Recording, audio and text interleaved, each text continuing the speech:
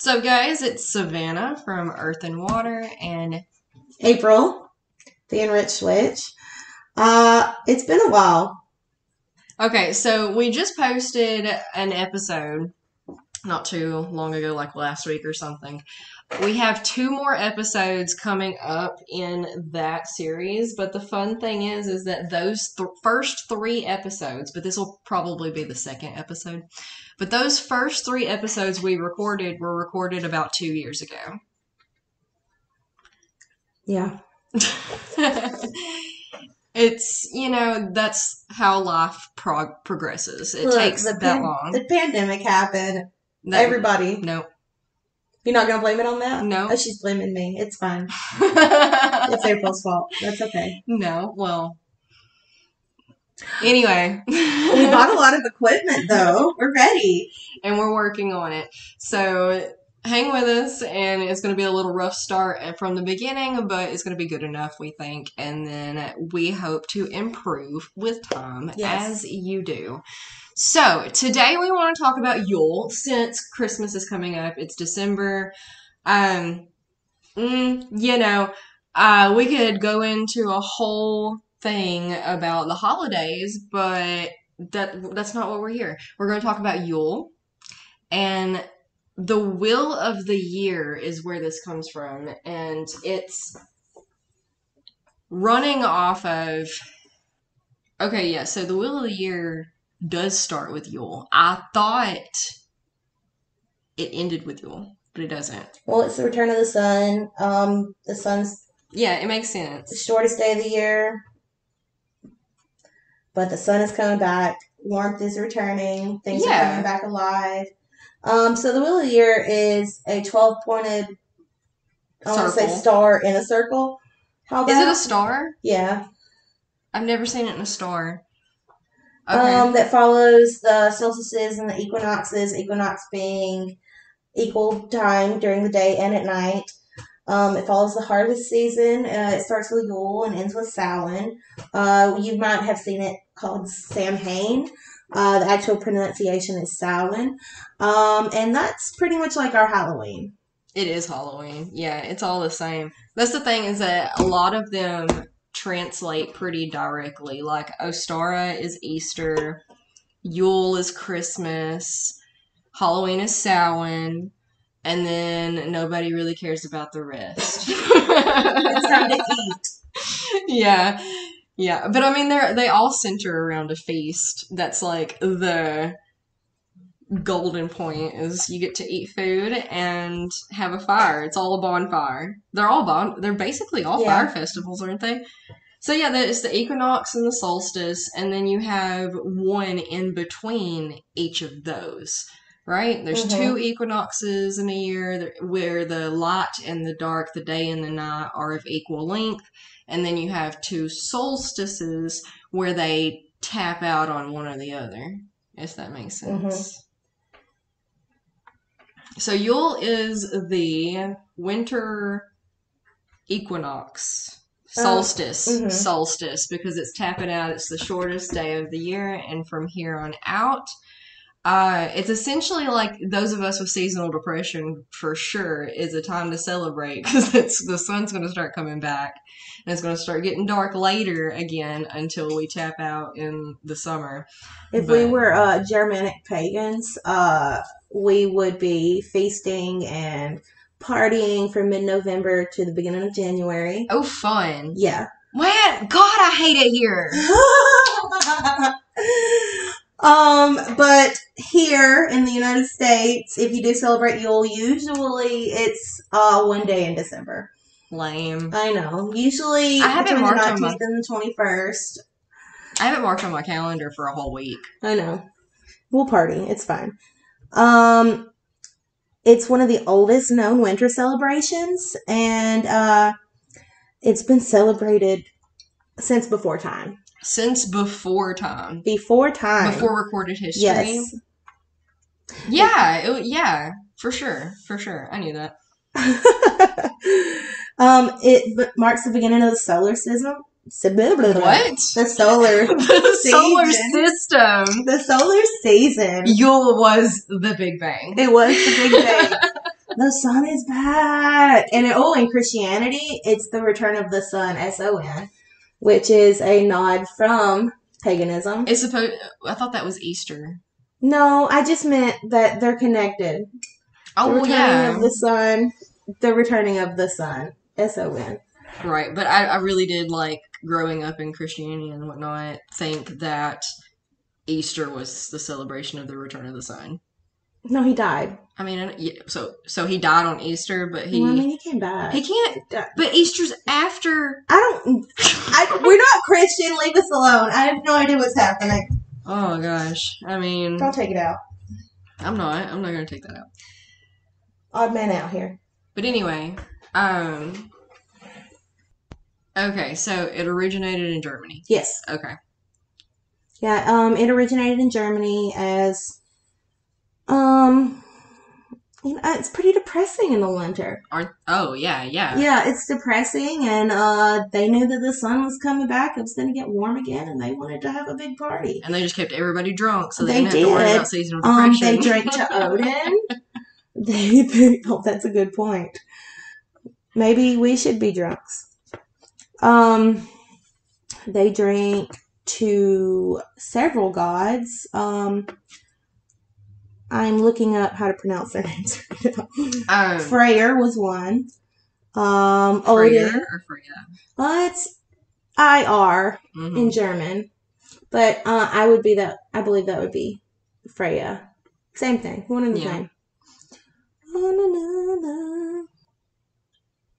So I was thinking, like last year or something, I'm really good about having epiphanies on my own and then realizing that the whole world already knew what I just figured out.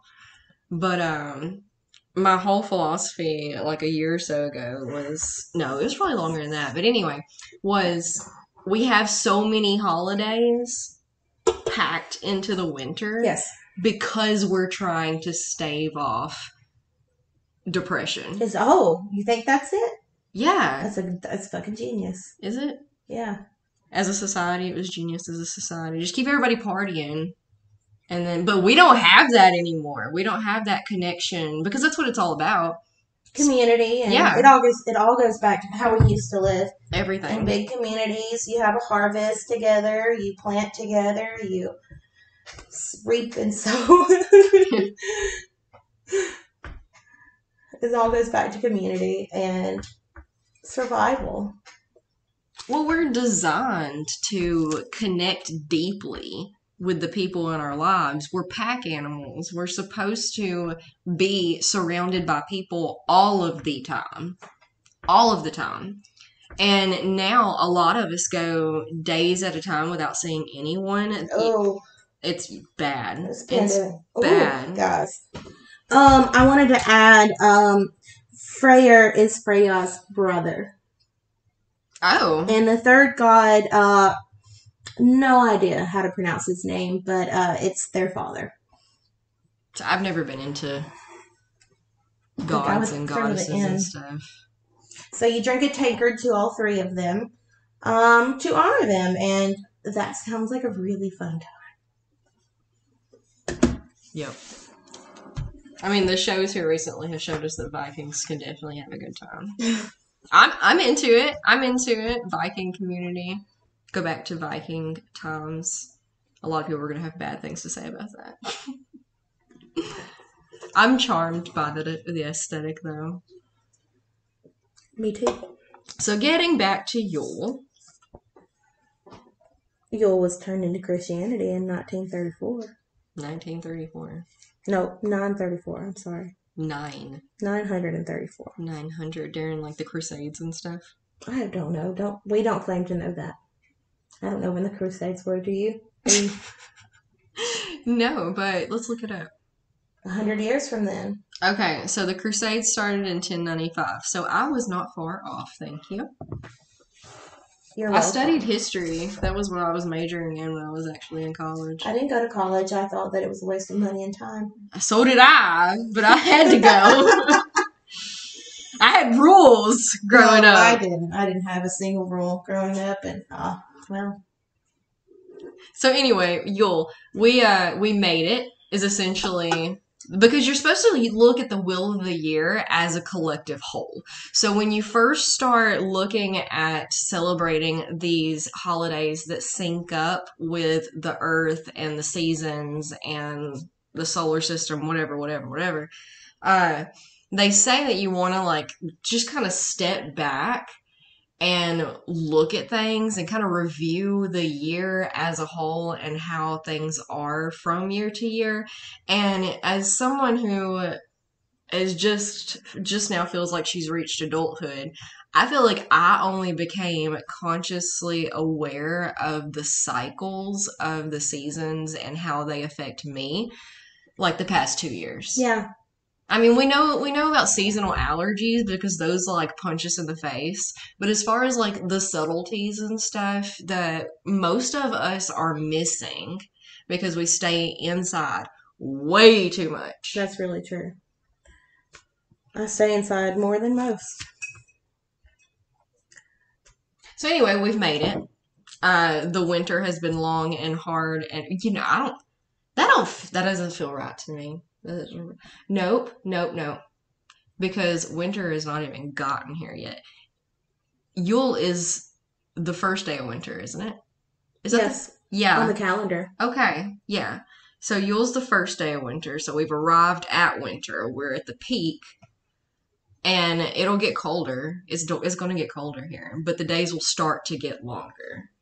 Um, and I think that's pretty subjective, depending on where you live. I Oh, know- probably. uh, we just we live in the Ama- the Alabama Amazonian. Nope. No, what? That's not right. I know it's not actually called the Amazon, the Alabama Amazon, Ah, we're in the Appalachian Mountains, the very bottom of them. but it's very moist, very swampy. My elephant ears are bigger than I am. Okay, that's that's fair. I where have tree frogs. Me too. It's Um, like it's only cold. It gets cold here, but only for like a month or two. I had a point I was gonna make. No, I don't. The fuck it is. I'll come back to it. Okay. So yeah, I don't really know. Oh, in Alaska, their darkness has already started. Yeah, it's it's flipped in the southern hemisphere versus the northern hemisphere. So they're celebrating the opposite of Yule right now, which is I was saying that it's dark in Alaska. Oh, and- The sun doesn't. you said come up- Australia. No, I didn't. You said Australia. I Australia. did not. I got look. We recorded it. We'll go see. Okay, you said Alaska. It's Mhm. fine. I feel like you owe me a beer or something. There's no way in hell I owe you a beer for the rest of our lives. Okay, fair enough. All right, so we can talk about the correspondence and how to celebrate Yule and the things associated with Yule. I have a list here that I'm just going to read out from uh, Practical Magic. It's a book by Nikki Van De Car. It's beautiful, by the way. It's lots of illustrations. Highly recommend it. So the colors are basically what you're going to think is associated with Christmas. It's red, green, gold, and silver. So you can use the colors by wearing them or sur- decorating with them or surrounding yourself with them or you know making red green gold and silver cupcakes whatever. Uh, the stones associated so crystals associated with it is ruby garnet emerald and diamond. Herbs are bayberry evergreen milk thistle holly and mistletoe. And i do want to make some points that uh, these holidays are hugely personal. Okay. You're and there is power in the collective and celebrating the aspects that other people celebrate.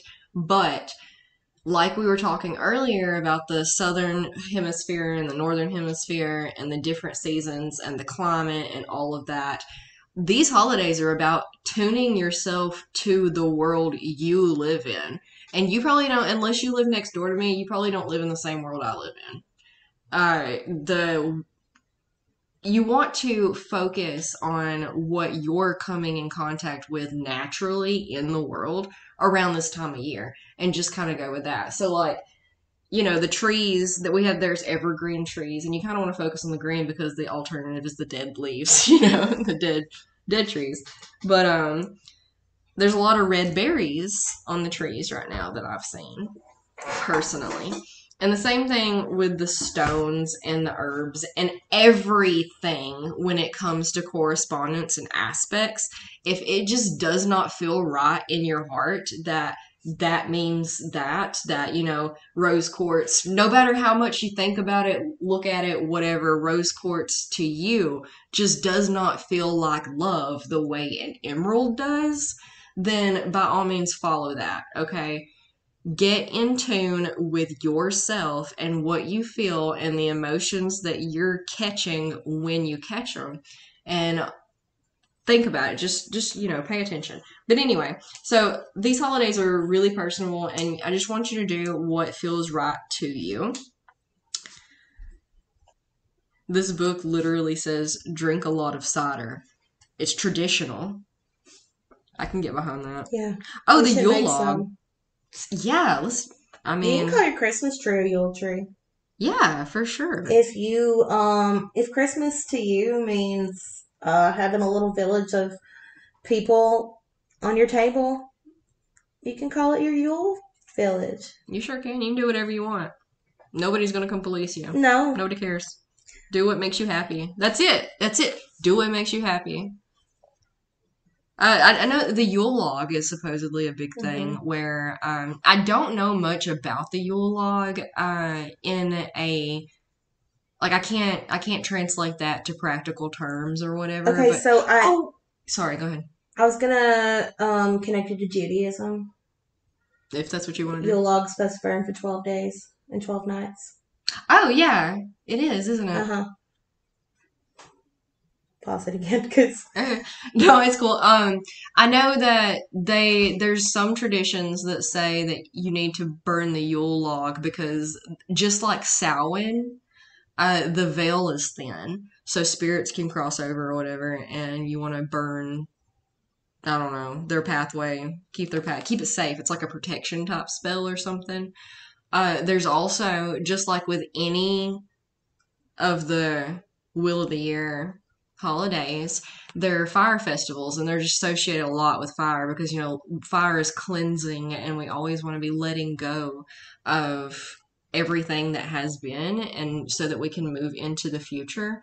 So just kind of dropping it and like it really yeah just letting go of everything that has happened up until that point so that you can move into the next phase of the year with like clear with what was space clean clarity leave it all behind move forward what are you looking up I was sorry, sorry, I wasn't paying attention. I was uh, looking up to see how long the Yule log burned. Um, some places it's twelve hours. Um, it's to capture the true magic, and in some other places it is twelve days. I was making sure I wasn't talking out of my ass there. Uh, I do that sometimes. Uh, and the holiday is Hanukkah if you're Jewish, which uh, couldn't think of that a second ago. oh okay i wasn't paying attention when you were talking about That's that okay. You're welcome. Yule food is going to be basically basically all of them are breads and then just whatever's seasonal in your area. Wine. Wine, wine is important. Wine is important. And, mm-hmm. Like just in general or like Yes. to Yule. To Yule, but I don't drink wine. How do you mull wine? You stomp on it. Right? mean, if we make it, I have no idea. Dried fruits, a lot of cinnamon and spices. Oh, cinnamon and spices is a big thing. You know, nutmeg. That's warming things. Important. Cardamom. Cold. Mm-hmm. Spiced meats. I want some roasted apples right now. I had some yesterday for breakfast, and Blake ate some for the first time, and he didn't like them. Well, that's sad. The kids don't like them either. That's fine. I will come over and help. Eat you know you apples. can eat pine cones. I did not. That is important You information. can eat pine cones. You can make syrup out of pine cones. Uh, no, the turpentine. No idea. You don't know anything about turpentine? I know very little about turpentine. Is that a paint stripper? No, it's like um, It's like colloidal silver, or uh, it's it's a health thing. Mm, totally thought turpentine was what you So used did to I. strip paint. So did I. I think it maybe is. I don't know if it's the same turpentine or not. So don't go Why drink a bottle of? I don't think you should. I personally don't The- think you should be drinking colloidal silver. the same Either. reason that all alternative health stuff is hush hushed and taboo in our society and whatnot. Well, I mean that's probably the reason you only hear the horror stories, anyways, Oh yeah, for sure. is to keep us from doing it. They Yeah. don't want us healthy. No, because healthy Who's people they? are powerful. I'm not going to tell you. You can figure it out. Yeah, they. We'll just keep. We'll just keep coming to they. They don't want you to know. You tried done colloidal silver? What? Have you done droplets of colloidal silver? I have not. I've never had any, but I know if you have too much, it'll turn you blue Uh huh. permanently. hmm There's no cure Not for even it. a good shade. No, like Smurf per- blue Yeah. for the rest of your life. Dark purpley blue, like bruised looking. Yeah. So anyway, What's wassail? what what? W A S S A I L. Apparently, it's important. I have no to idea. you. I'm gonna Google it. You never heard that. Uh, talk about what? I don't know.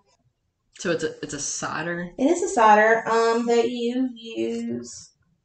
Okay, wassailing um means oh it's it's it's caroling.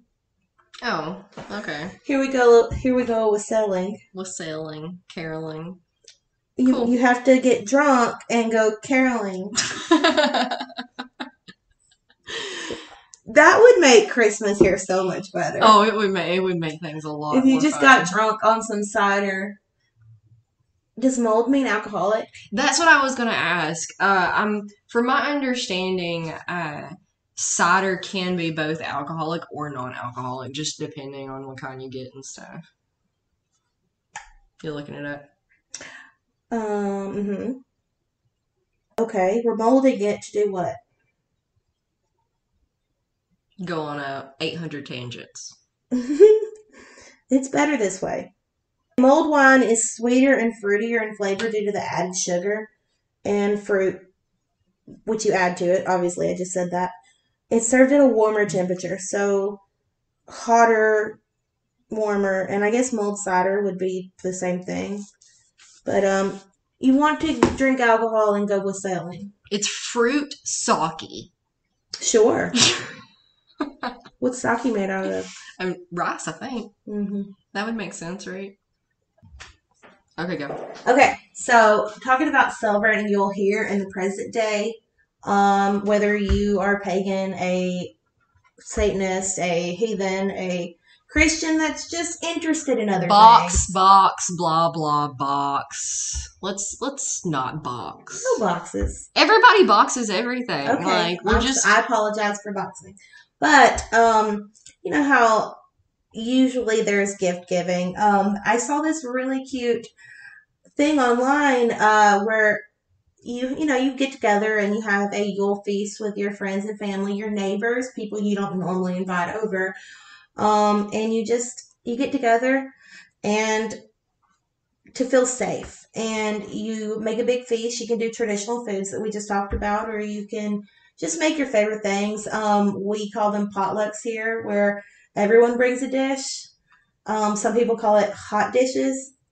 Um, but this was the fun part. Um, you bring along a possession of yours that you no longer want, wrap it up somehow newspaper, old fabric, Christmas paper, doesn't matter.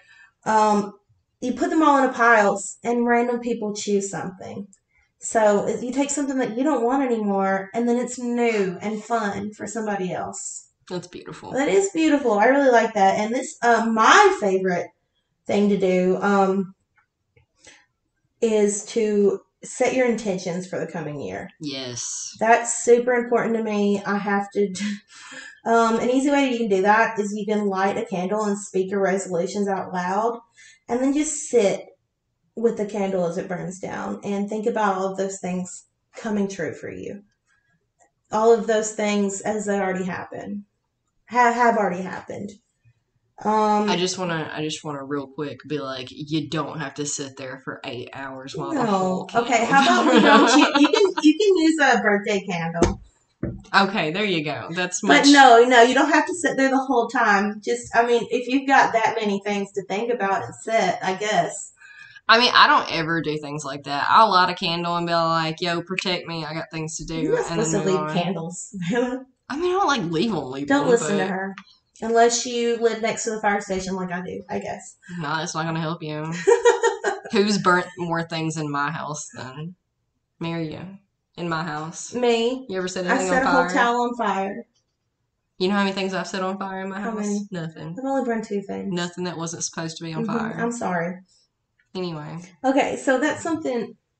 Uh, it's something that's really important. You leave behind the things that you don't want to bring with you for the new year, and only carry over the things that you do want. And I think that that's really nice. Perfect. Um, it's very important. Very important to be clearing that stuff out because if we don't, then we're just carrying it around.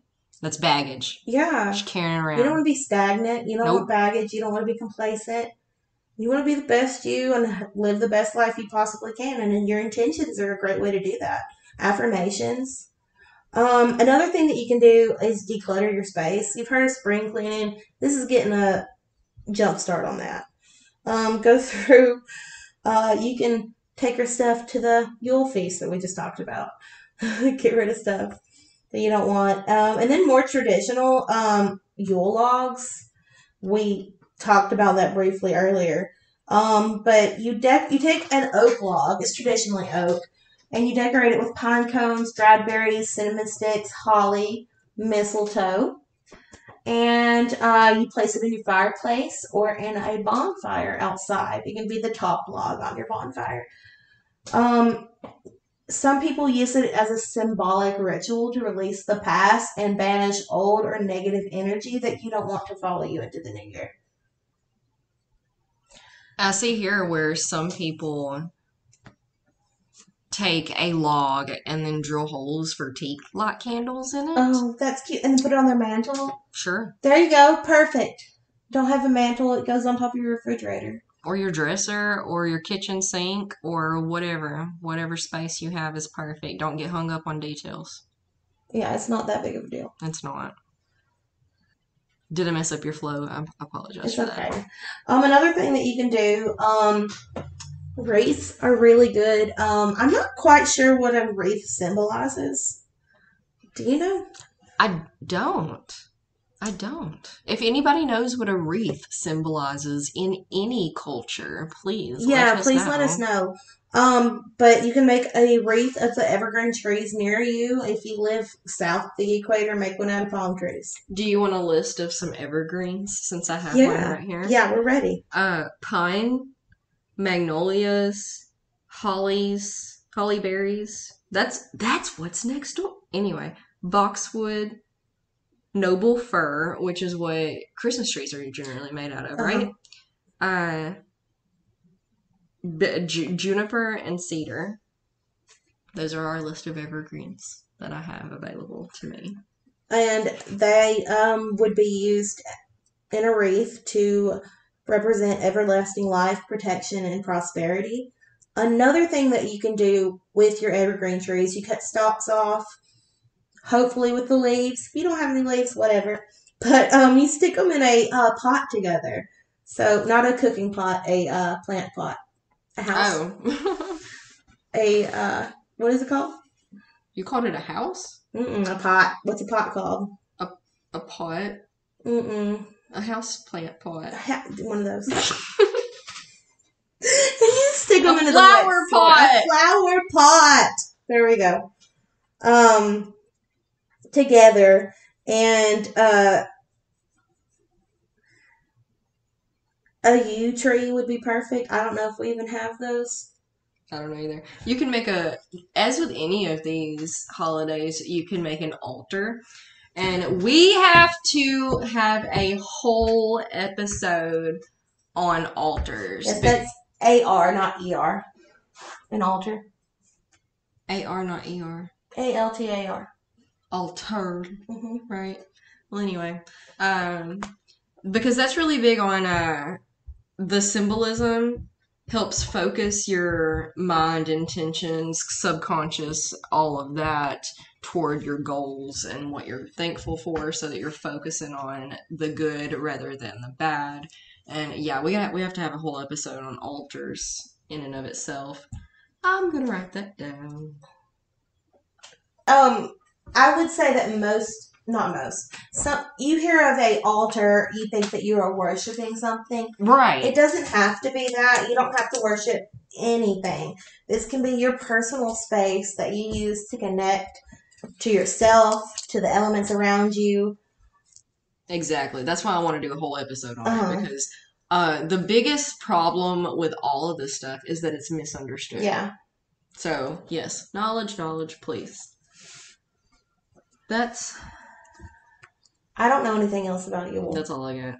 That's all I got. That's so I will eventually make a accompanying blog post with this where I will write everything down so that you don't have to like take notes or anything like that. But it probably won't happen until next year. Probably not going to get that out before this Yule. So just kind of keep checking back. And you know what? We might make a second Yule part two Yeah, if we learn more. Because I'm sure we will. Yeah. I think that we should celebrate Yule this year. oh, we celebrated last year. We did. Hmm. We celebrated, I want to say most. Yeah, we did. Yeah. That first year? Uh huh. hmm That was like two years ago. Though. Okay, I'm sorry. Last year was just, we were just in survival mode last year. I agree. I, And then I'm this just year's been survival, mode, survival mode. Me too. Um. Okay. So, uh, at the time of recording this, uh, it is Friday night. Tomorrow or this morning, coming up. Um, I don't think it's this morning. PM. PM. Two Well, I don't know o'clock PM. There is a uh, full solar eclipse in the southern hemisphere Oh, parts cool. of Africa, Antarctica, Australia, and I know it's it's on a new moon. Also, it's the same time as the new moon. I don't know. Some some of y'all might be able to feel the energy from that. I feel wired as can be. I'm so excited for new beginnings. I'm going to have to post this in the morning now so that they have the opportunity to hear that. Okay, yeah. Sorry, Before it I, comes spread, I. I sped things along. That's okay. Energy, energy, energy. we will try to as things go we will iron out all of the wrinkles in this kind of stuff so expect an episode for all of the wheel of the year things and then probably a wheel of the year episode in and of itself uh, you can find everything on like the show notes and whatnot in huge detail as much as i can on the website earthandwater.co and until then, just, you know, keep up with how things are progressing for us. Because, like we said, it took us two years to, from start of podcast to actually launching podcast. Because that's the amount of time that it actually realistically takes to do anything. So, We're human. yeah, just like everybody else. But that's great news because if we can do this kind of stuff, that means you can too. But follow us on all of the social medias and let us know what you think. The more feedback we get from you guys, the better that we can bring awesome stuff to you. So that's all I have. Do you have That's, anything no, um, I had a new baby. Yeah, she had a whole she had a whole kid. I had a that whole kid. She's not new anymore. She just turned one. Three kids now. Life's crazy. Yep. Did it? Yeah, that's all I had to say. All right. Well, love you guys. Thank you for listening, and we will catch you next time. Bye.